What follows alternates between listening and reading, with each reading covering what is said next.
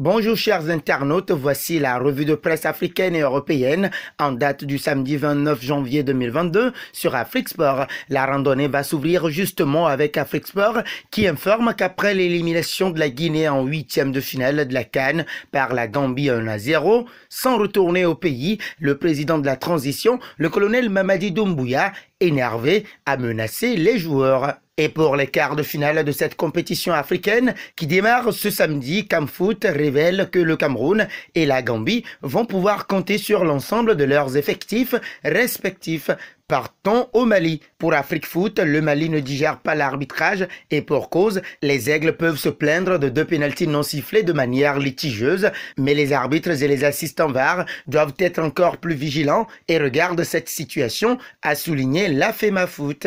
Une colère contenue et parfaitement compréhensible. Partons au Maroc avec Adam Nafati qui a évolué cinq mois dans les rangs du club émirati et qui rejoindra l'Asfar jusqu'à la fin de la saison avec une option d'achat a indiqué le 360 degrés sport. Filon en France avec l'équipe et Ludovic Blas, le milieu offensif qui a envoyé Nantes en quart de finale avec un joli doublé. Il en est à 10 en 23 matchs cette saison, ajoute le quotidien sportif français et confirme son rayonnement.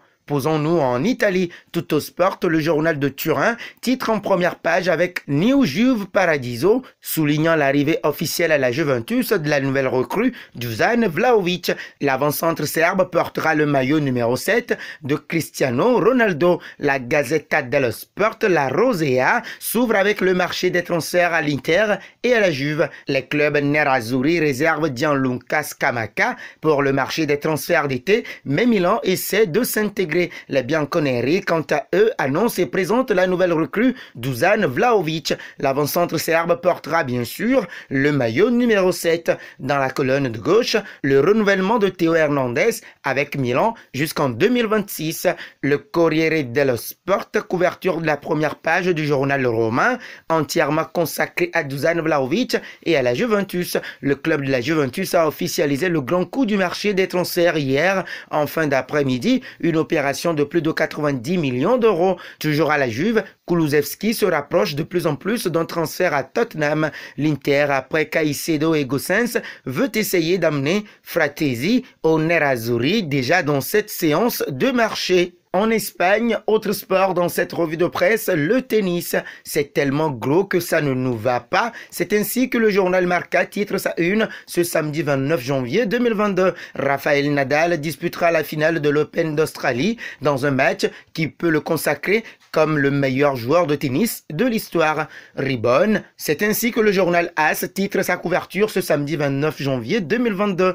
Le tennisman espagnol a battu Berrettini et disputera la grande finale de l'Open d'Australie. Nadal a entre ses mains le titre de joueur de tennis avec le plus de tournois du Grand Chelem de l'histoire. Super Adama est le titre de la couverture du journal Sport dans son édition de ce jour. L'attaquant est déjà paré en tant que signature pour le FC Barcelone en attendant que son incorporation devienne officielle.